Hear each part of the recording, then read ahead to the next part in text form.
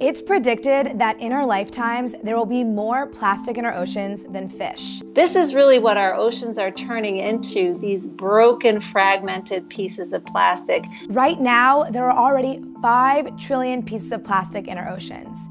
And it's affecting animals. 90% of seabirds have plastic in their stomachs. And we could be eating it too. One study found that microplastics have made their way into popular sea salt brands. Ugh. But how did all this plastic get there? I decided to talk to Bonnie Monteleone, a researcher studying plastic ocean debris at UNC Wilmington. Bonnie has spent the last nine years traveling the world researching plastic ocean waste. She even made this art exhibit out of the plastic waste she collected from her trips. Bonnie helped me understand that as water moves around the planet, it picks up plastic debris and washes it into the ocean. So it doesn't matter where you live. If you live in the mountains or you live on the coast, we're all contributing to this problem. But I wanted to know, what is it about plastic that makes it so pervasive? The really interesting thing about plastic is it's man-made, right? So most of the other materials that we use, nature has created, and so nature knows how to dispose of it.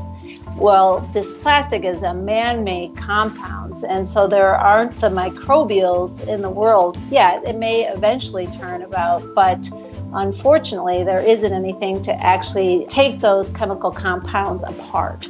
So they persist for an indefinite period of time. And we really have no idea how long it takes because plastic has only been around really for about 100 years. We just know that on a high probability, it can take up to a thousand years to mineralize.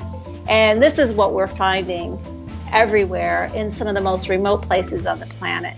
After talking to Bonnie, it made me realize that every discarded piece of plastic on the street could one day become one of those pieces of plastic in her jar. Most of us are good about putting our plastic in the recycling bin, but still, some of it will slip through the cracks. And that adds up to an estimated 245 million pounds of plastic litter entering the oceans from the US every year. That's the same as the weight of eight semi trucks of plastic entering our oceans every single day. Even if we could somehow stop plastic from entering our oceans, what do we do about the trillions of pieces of plastic that are already out there? Luckily, there are smart people working on solutions.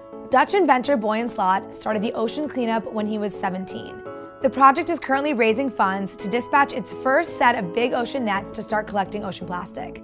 They say they can clean up the Great Pacific Garbage Patch, which is roughly the size of Texas, by 50% in five years. Startups are also developing alternatives to plastic. One startup out of Bali called Avani is working on a biodegradable plastic bag made from cassava root. It's made from such natural materials that their bag is even edible.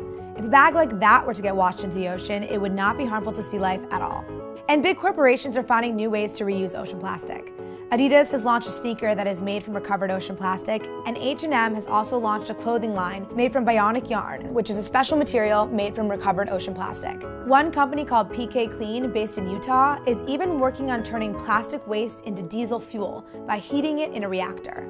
These innovations are exciting, but solving this problem also starts with individuals like you and me. Of the plastic we use each day, 50% of it is used only once and then it's thrown away. Think of your coffee to go cup or your plastic shopping bag. Does it really make sense to use something that's designed to last for hundreds of years for just a few minutes?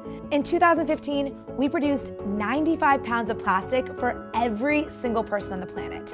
That's an insane amount of plastic. If we were to transition away from plastics and return to products that can naturally biodegrade, we wouldn't have to worry about things making their way into the oceans. But before we can even make that transition, there's no denying that right now, our culture is addicted to plastics. Bonnie would agree. It comes down to each individual to take stock of the plastic in their lives and to start choosing to use less of it. It's just bring your own coffee mug, right? It saves billions of coffee cups that are used every year disposable. And so that's where consumers really have control over the situation.